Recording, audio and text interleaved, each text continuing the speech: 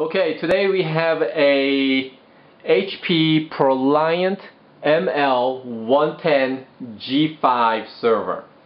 Uh, now, unfortunately, there isn't really much going on in the video portion of this uh, video.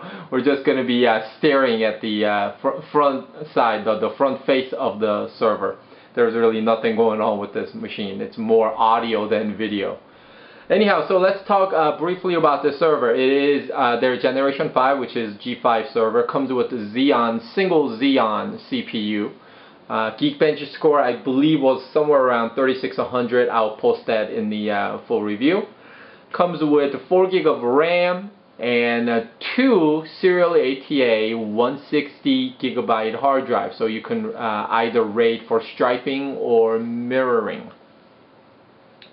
And uh, this particular server comes with Microsoft Windows Server 2008 Foundation, uh, which has you know some limitations, but it is actually quite nice for um, uh, just a member server or when you need a server that does minimal work or a dedicated um, function that does not require a whole lot of horsepower or you know bells and whistles that um, higher edition Windows Server comes in, it will fit the bill very well. This particular server is being deployed to a small business where they, they have uh, three users, so it's going to fit the bill just fine.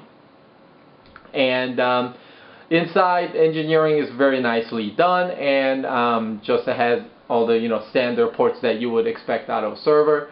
Um, traditionally, the ProLiant servers obviously are uh, very well known in corporate computing environment.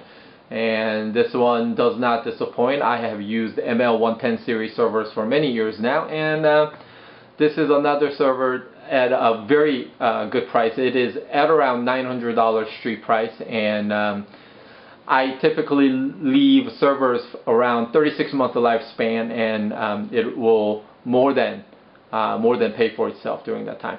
So that is my brief review of HP ProLiant ML110 G5 server.